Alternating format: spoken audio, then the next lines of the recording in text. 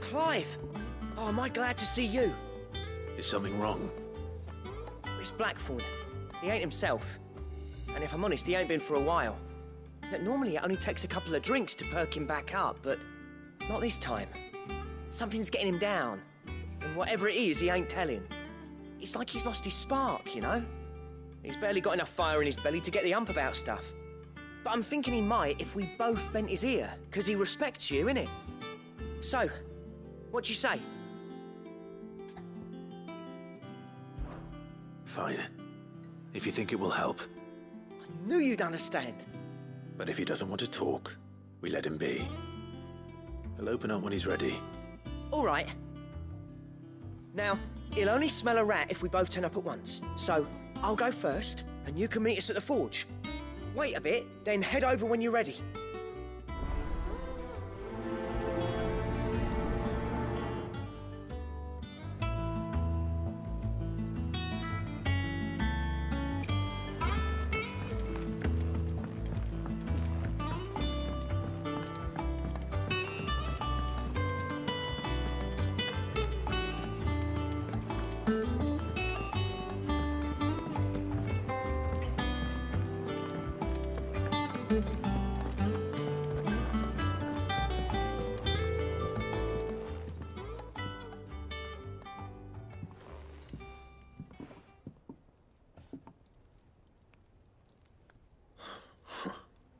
First August, and now you. What you pair up to? What's it got to do with me? August was worried that something had been weighing on your mind. I thought you might want to talk about it. Did you now? I told you not to stick your nose in my business. What'd you go and do? Clive just wants to help, innit? What's so bad about that? Talk to him. You never know, you might feel better for getting it all out in the open. Please, mate. I'm worried about you. Phil shut you up. It's nothing really. Stupid. Not the sort of thing you bother people about. Why don't you tell us all the same?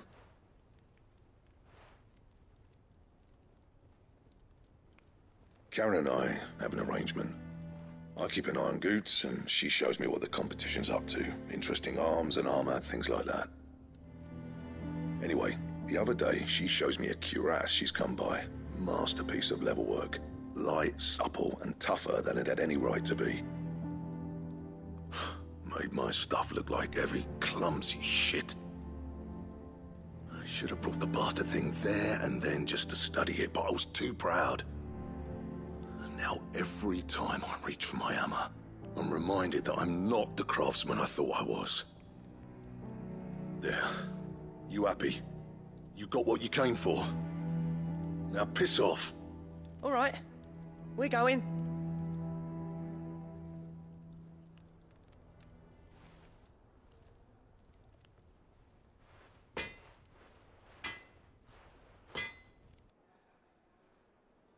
Always thought of old Blackthorn as a bit of a force of nature. Like a storm cloud full of ale. Didn't think anything could rattle him.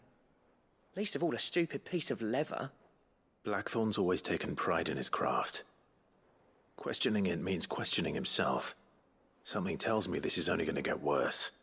If he has doubts, it will affect his work, which will only add to his problems. We need to nip this in the bud. I couldn't agree more. He said he should have bought that cuirass. Perhaps we should track it down for him. Assuming you're happy to help, that is. Too bloody right I am. Glad to hear it. First things first, then. We need to speak to Charon. That monster's taken quite a liking to Lady Charon. Charon, do you have a moment? Blackthorn mentioned that you'd recently come by a leather cuirass. An exquisite example of the craft, from what he told us. And he ain't been himself since he saw it. So we thought we'd buy it for him. Sorry, sold it already. Didn't think Blackthorn cared for it the way he turned his nose up. But it was nicely put together, that's for certain. Even if the bloke who made it is a bit of an odd one. Happened across him on my travels. Makes all his stuff to order, but the fella who commissioned it refused to pay. He didn't like the colour of summit. So I took it off his hands for a fair price. You don't know where we might find him, do you? Like I said, he's a bit of an odd one. Doesn't even have a workshop. He don't trust hunters neither, which means he spends as much time out tracking beasties as he does working their hides. I see. He did tell me something, though. Apparently, his next commission's for a set of griffin hide greaves. Here, there's a griffin on the hunt board. The curse breakers were placing bets on who'd bag it. Now, where the bleeding hell was excited? Somewhere in Sanbreque, maybe. Care Northern, that was it. Thank you, Charon. We'd be lost without you. At least you admit it. So, it sounds like going after that griffin might be the best chance we have of finding our roaming leatherworker. I'll leave the hunting to you if you don't mind. While you get on with that, I'll ask around the markets. See if I can't sniff out who he is and where he's hiding. Good idea. Hopefully one of us will be able to track him down.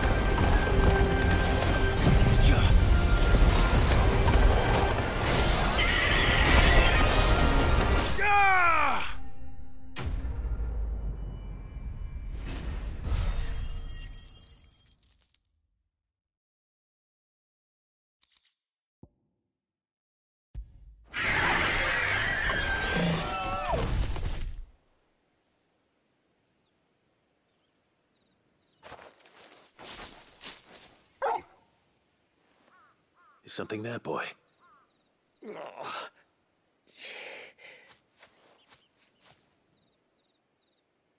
Could that be our man?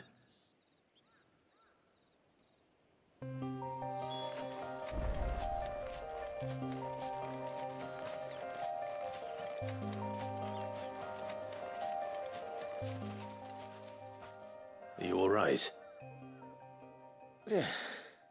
Dare say I'll survive. That griffin caught me before I could get an arrow off. Must have lost sight of me in the grass, though. I'd be dead if it hadn't. More likely than not. The name's Camille. I'm a lowly leather worker, if you couldn't tell by the smell of me. Not so lowly from what I hear. Do you remember selling to a merchant by the name of Charon?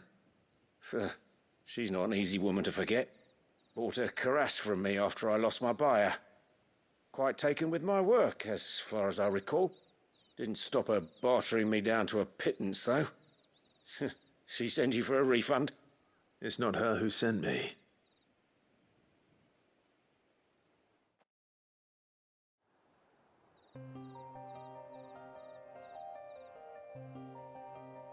Well, consider me flattered. You should be. He's a master of his art, and not an easy man to impress. Blacksmiths are proud folk. It's a rare thing indeed for one to praise a glorified tanner. And I don't imagine an impressive swordsman like yourself would be getting your steel from any but the best. I'd dearly love to help a fellow craftsman, but. Actually, I suppose you could give him this. What is it? Treated leather. Same stuff I used to make that cuirass. If your man's as skilled as he sounds, he'll know what he's looking at. You sure? Well, you did save my life. And thanks to you, I'll be going home with all the griffin hide I can carry. I'd say it's the least I can do. Short of showing him how to make the thing myself, that is. But there are rules against it. Secrets of the trade and whatnot. In that case, I'll see that he gets it. I'd be much obliged if you would. Right. I've got some greaves to make. You send your blacksmith my regards. Will do. And thank you.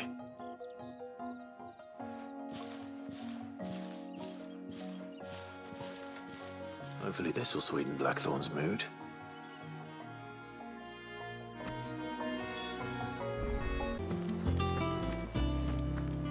Monster's taken quite a liking. And with a bit of luck. How'd it go, Clive? Did you find him, or does the hunt continue? I found him. And he asked me to give you this, along with his regards.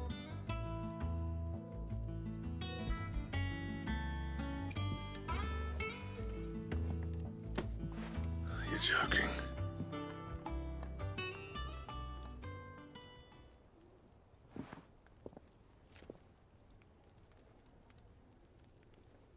Said he wouldn't teach you how to work it, but that if you were as skilled as you sounded, you'd have no trouble understanding how it was done. Ah. So that's his secret. Crafty bastard. He's layered and cross-grained it. Good few times, too. No wonder it's tough. And that's no ordinary oil he's used to get that finish. Oh, this is fine work. Even finer than I thought. Yeah? I'll take your word for it. Just looks like leather to me. Still, I'm glad you're happy. Here, Clive. You didn't happen to catch the fella's name, did you?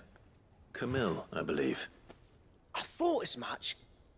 There ain't many leather workers in the realm daft enough to do their own hunting, see, and his name kept cropping up when I was asking around. Turns out he's from Tabor, and again, most leather workers are. But our friend Camille guards a long held family secret, the details of which are the subject of some debate in the leather working community. Then we better keep this close to our chests. Listen, sorry for putting the both of you to all that trouble. Should have kept my moaning to myself. Still, I'm glad you found him. This has cheered me right up. That was the idea. Clive's idea, anyway. He did most of the work. It's good to have you back, Blackthorn. Just don't expect me to go turning out work like this. There's a reason he does his own hunting. He knows exactly what hides to look for. And that's how he gets them to layer up so nicely. And don't get me started on how much oiling this leather would need. But I reckon I can make something about as good. Something a curse breaker will have no trouble caring for. Anyway, enough narrowing. I've got work to be getting on with.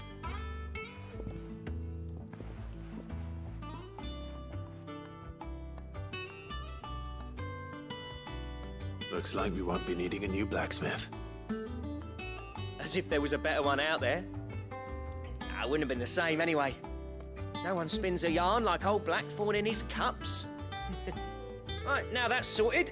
I've got duties to attend to. Thanks, Clive. You've given me my mate back.